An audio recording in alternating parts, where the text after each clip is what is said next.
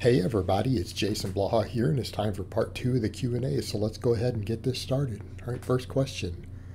What can we do to fix bicep pain from low bar squats? No other pains when doing it.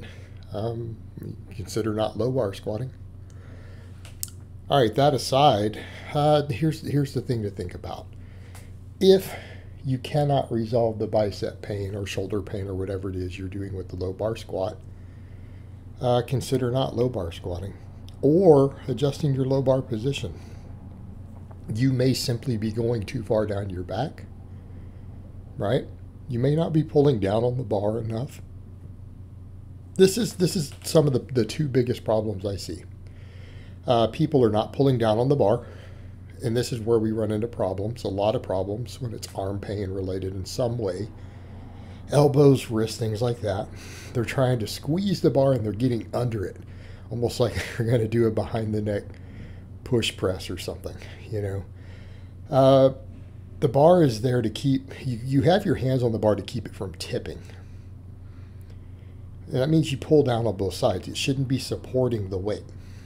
Now, if you get too low on a low bar, you might have to support it more and more in the arms. But that could be the problem. You could be going too low down your back. Okay. It's not worth it if it's causing you these sort of pains. I high bar squat.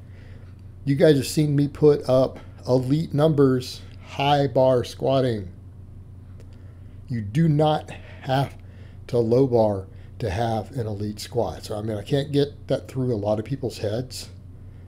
You know, if you're a big, strong man, okay, with strong legs and a strong back, you're going to still be able to squat 500 pounds with whatever bar position you choose to go with.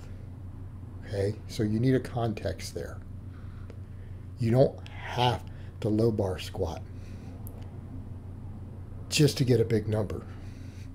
Some people get a little more out of it. I get it. You get 10 more pounds low bar. All right. All right, fair enough. But are you breaking records? In other words, is your high bar squat right at a world or a national record and you just can't seem to get past it and you know that you can do 10 more pounds low bar? Then by all means. But otherwise, if it, if it is causing you pain that you can't resolve by adjusting your technique and again, stuff like pulling down on the bar, not putting it as low, so on, then you don't have to low bar squat. Just pointing that out. All right, next question. How would you design progressive overload on dips? Uh, you're not going to like my answer. I wouldn't. What do you mean design progressive overload? It's a secondary exercise. We program progression on, on our primary movements. Okay? Most people understand that. The dip is a bodyweight exercise okay, that you might add resistance to, but essentially you're always going to be doing high reps on it. It's not reasonable to do really low reps on a dip.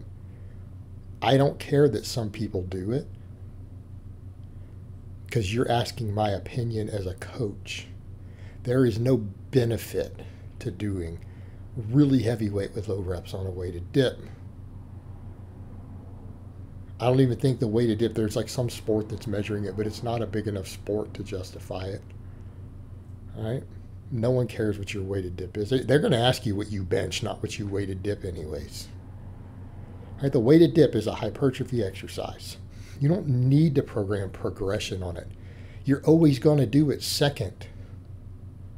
Right? You're always going to do some bigger movement first, a bench press, an overhead press, something something else, right?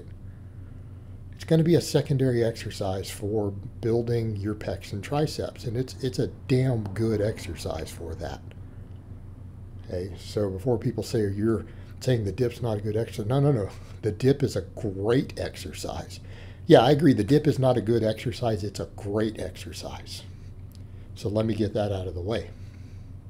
It's a hypertrophy movement for volume. If you don't progress on your dips at all, but you progress on the primary exercise and you do the same amount of dip volume and work afterwards that you've been doing, your total stimulus went up. saying it's not that big of a deal.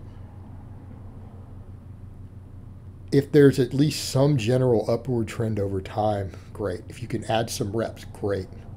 If you are doing it weighted, I always tell people be cautious. Be cautious with weighted dips. Be very, very careful.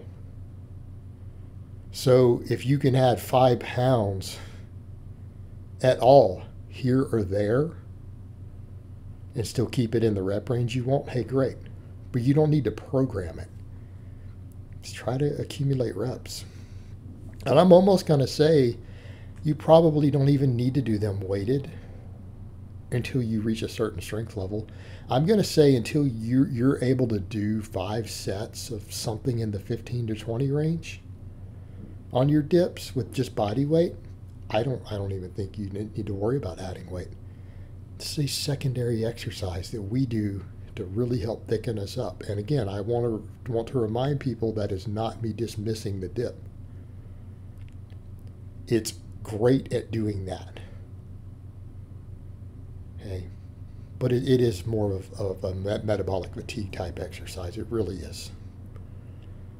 It's just not an exercise you can safely load ultra heavy the same way you can, say, a bench press or a deadlift. My opinion. All right, next question, last question of the week.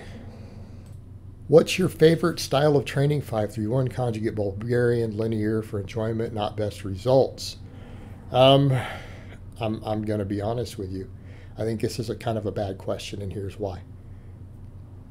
I'm training to be a champion. Champions don't think like that. Our favorite is whatever we did today. Let me make that very, very clear. Jason, what's your favorite exercise? I don't know. Is it overhead press or deadlift day? If it's deadlift day, deadlift is my favorite exercise. If I'm squatting with a safety bar, which I absolutely loathe and hate on a deep level, that's my favorite exercise. So we come back over to the training. Hey, Jason, what's your favorite style of training for enjoyment? The one I'm doing now. You know what? And that way, hey, I don't need to answer which one I'm doing right now either because this Q&A might come up in the future. Whatever style of training I am doing right now is going to be my favorite. Because I will force it to be my favorite. I will convince myself that I love it. And by convincing ourselves that we love it, what happens? Our training is more enjoyable. So we come back over to best results. You know what's you know what's fun? Winning. You know what I enjoy? Winning. You know what I enjoy being better than other people at things. That brings me joy. I'm, I am a competitor by nature. It's, it's kind of part of my personality. I enjoy being better than other people. Makes me happy. Winning makes me happy. So, best results does equal enjoyment, doesn't it? Depending upon how your personality is wired. That's the thing when people ask things like this. You need to understand you're dealing with different personality types my worldview is not going to be the same as yours. And that's okay. It doesn't have to be. That's okay. You are who you are, and I am who I am. I will say, though, the worst out of the list I ever did Bulgarian.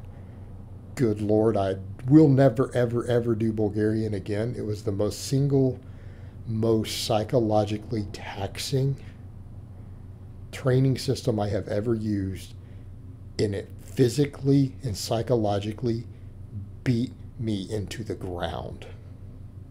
So if you wanted that one, I can definitely say on the list is the least enjoyable. Right? The least enjoyable.